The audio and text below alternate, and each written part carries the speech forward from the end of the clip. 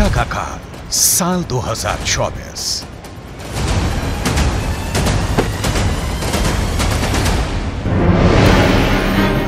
Gaza युद्ध को लगभग तीन महीने होने जा रहे हैं, लेकिन अभी तक इसराइल की आईडीएफ गाजा से हमास लड़ाकों का सफाया नहीं कर पाई है।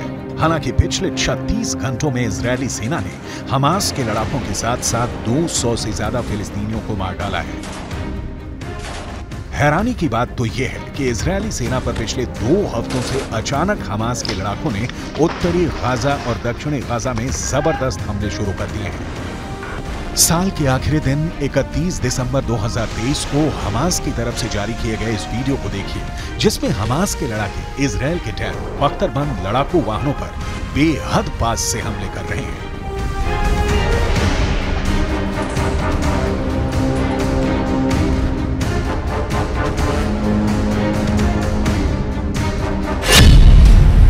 हेलमेट पहन रहे हैं टैंक। टैंकों का कब्रिस्तान गाजा। हमास का टैंकों पर हमला। 31 दिसंबर 2023 को हमास की तरफ़ से जारी इस वीडियो को देखिए जिसमें हमास लड़ाके बेहद करीब से इजरायली टैंक के ऊपरी हिस्से पर सीधा हमला कर रहे हैं। हमास का दावा है कि यह हमला इजरायली टैंकों पर दक्षिणी गाजा के खान यूनुस में किया गया है। हमास का दावा है कि यह हमला 30 दिसंबर 2023 को इजरायली टैंकों पर हुआ है।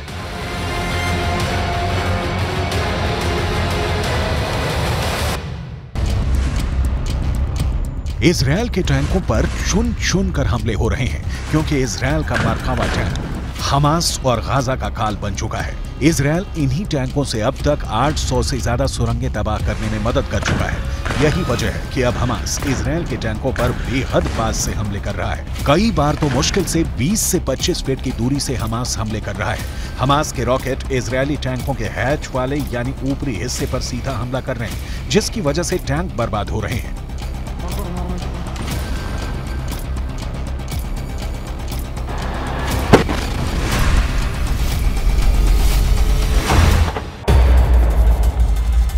अब हमास की तरफ़ से जारी ये वीडियो देखिए, जिसमें हमास के लड़ाके गाजा में कब्रिस्तान बन चुके इमारतों के पीछे से इसराइली सेना पर हमला कर रहे हैं। दावा किया जा रहा है कि इस हमले में कई इसराइली सैनिकों की भी मौत हुई है।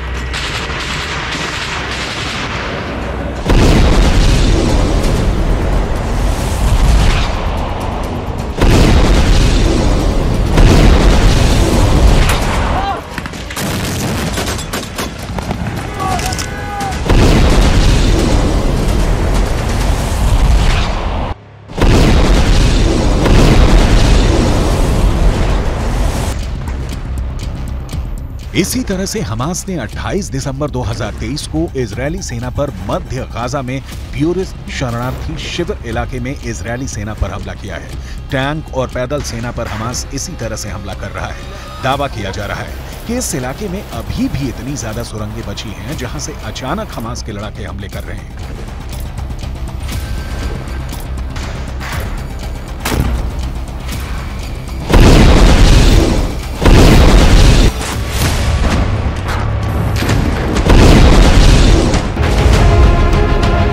इसी तरह से हमास के लड़ाकों ने 27 दिसंबर 2023 को एक ही हमले में 12 से ज़्यादा इजरायली सैनिकों को मारने का दावा किया है। हमास का ये वीडियो किस जगह का है, ये तो नहीं पता, लेकिन वीडियो में इजरायली सेना पर हमास के लड़ाकों के हमले साफ़ देखे जा सकते हैं। यही वजह है कि इजरायली सेना के मरकावा टैंक के ऊपर शील्ड लगाई जा रही है, ताकि टैंकों को तबाह होने से बचाया जा सके। इसराइल की मौत बना हमास का सुरंग युद्ध।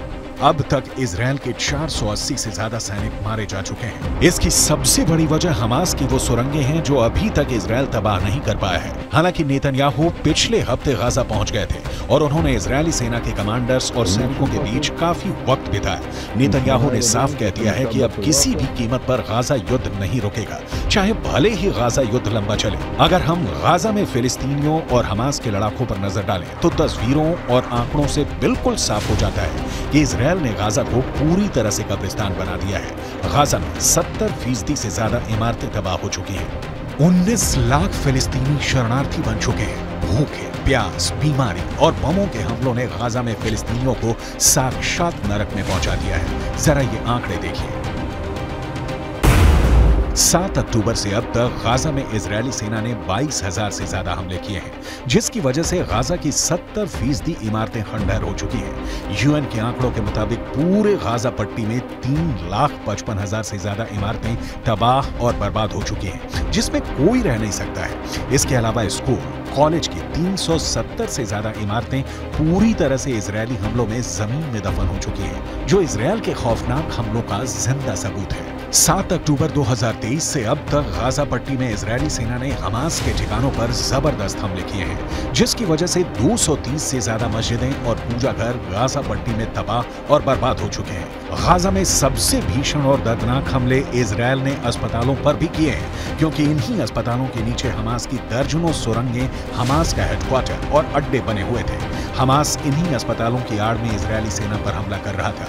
इसराइल ने ऐसे 36 में से 26 अस्पतालों को ज़बरदस्त बमबारी में तबाह कर डाला है। गाजा में रोटी के लिए लोग तरस रहे हैं। 20 से 23 लाख लोगों को रोटी नहीं मिल पा रही है, क्योंकि इजरायली सेना ने 11 बड़ी बेकरी तबाह कर डाली है।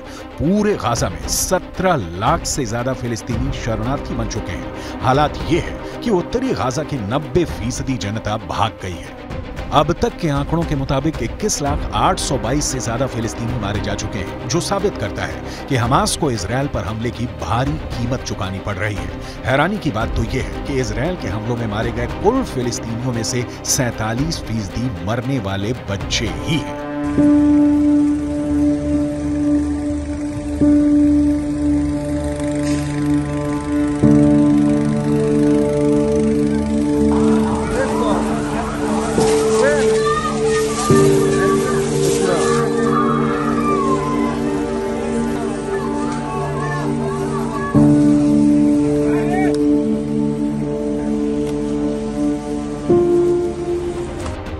इन्हीं हालातों को देखकर हमास हिजबुल्ला और ईरान अब इसराइल से आर पार की जंग का ऐलान कर चुके हैं लेकिन नेतन्याहू ने साफ चेतावनी दे दी है कि कोई जिंदा नहीं बचेगा לוחמים על הקרקע, לפעמים גם מתחת לקרקע, ויש לנו עיניים בשמיים. אנחנו אומרים למחבלי החמאס, אנחנו רואים אתכם ואנחנו נגיע אליכם. אנחנו ממשיכים במלחמה, מעמיקים את הלחימה בדרום הרצועה ובמקומות אחרים. אנחנו נלחמים עד הסוף, ובעזרת הטכנולוגיה המתקדמת ביותר. उत्तरी गाजा पर इजरायली वायुसेना के लड़ाकू विमानों ने हजारों बम गिराना शुरू कर दिया इसराइल की कॉर्पोरेट बॉम्बिंग ने देखते ही देखते उत्तरी गाजा में इमारतों को ज़मीन में दफन कर दिया। यहाँ तक कि उत्तरी गाजा में इजरायली सेना ने मरकाबा टैंक से हमले शुरू कर दिए। इजरायली डिफेंस फोर्स की रीढ़ मरकावा टैंक पर हमास के लड़ाकों ने भी ज़बरदस्त पलटवार किया और कई दर्जन टैंक लगभग 90 दिन की जंग में तबाह कर दिए। हमास के लड़ाकों ने सुरंगों से निकलकर उत्तरी गाजा में हमले किए। इसराइल ने लगभग 90 दिन की जंग में हमास के टॉप कमांडर्स को चुन चुन कर मारा है। अब तक 100 के करीब हमास के कमांडर मारे जा चुके हैं। लेकिन जिस तरह से हमास गाजा में पलटवार कर रहा है, उससे साफ़ हो चुका है कि साल 2024 गाजा के लिए बहुत विनाशक साबित होने जा रहा है।